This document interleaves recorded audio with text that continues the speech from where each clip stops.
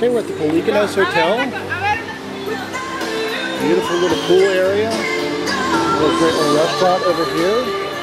Overlooks the little downtown side. Check out the cool beach spot here.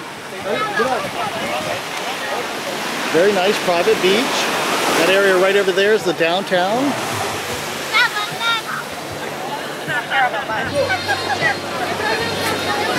Villas, or you get your waterfront view right up there.